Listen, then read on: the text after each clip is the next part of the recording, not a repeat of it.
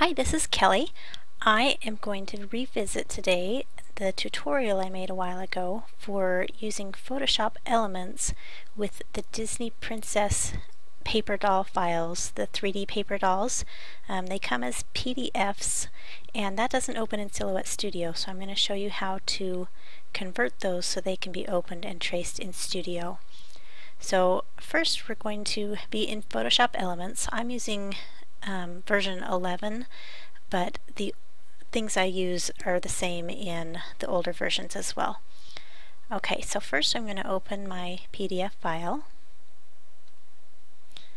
So I'm going to do Pocahontas, and actually you can just click and drag over here, and I want to just open the first page and the second page. Um, the first page is the paper doll, and the second page is her stand, so I'm going to hold Shift I click on the second page. Also, click OK. And now it will open these two documents, uh, these two separate pages. Um, so the first page, I'm just going to go to File, Save As. Down here in Format, I want to save it as a PNG. And I'm going to rename it Pocahontas 1.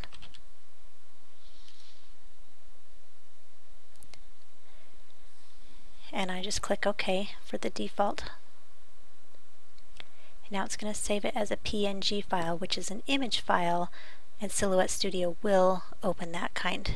I'm going to open my second one, second page, File, Save As, PNG, Pocahontas 2.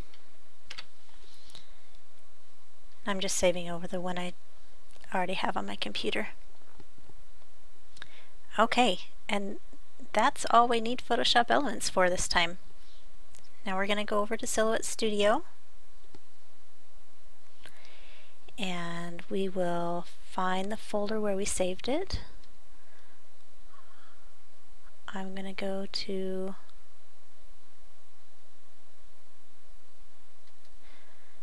my princesses folder and I'm just going to drag the Pocahontas file over. I'm going to change this to letter size on my page window because that's the size of printer I have. And now I'm going to go to my trace window, select trace area, and just click and drag an outline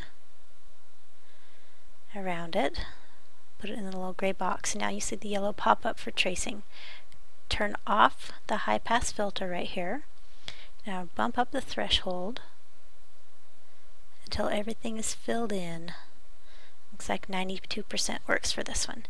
Now for paper doll, click trace and detach and give it just a minute to think.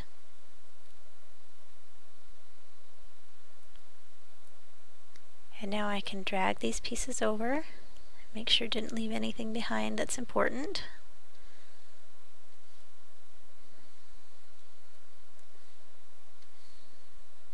I'm going to select all of this extra stuff and delete it. Now I'm going to turn on my registration marks and arrange the pieces on here to make sure I can fit it all for printing.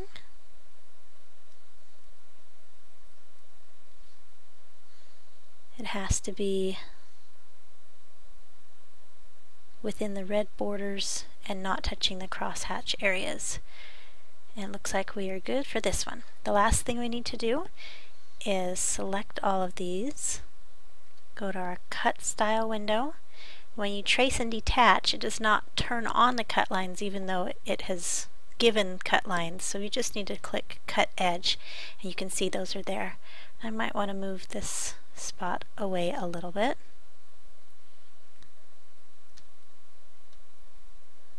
Probably okay, but just move it apart a little and I'm still not touching there. So Now I have my print and cut for page one and I can send it, print it and then send it to my silhouette. And then I need to get the second page, the stand. I'm just going to drag it from the folder right onto my workspace. Do the same thing, select trace area, turn off high pass filter, bump up the threshold. Now you can see there's some inner lines, but as long as they're not touching the edge, uh, when you trace and detach, it should just go with the outer edge and leave all that in place.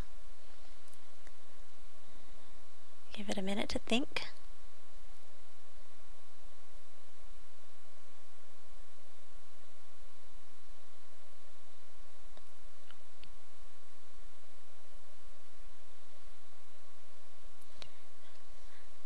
Okay, it did not lose those spiral edges. Okay, so now I've dragged that part away that I need.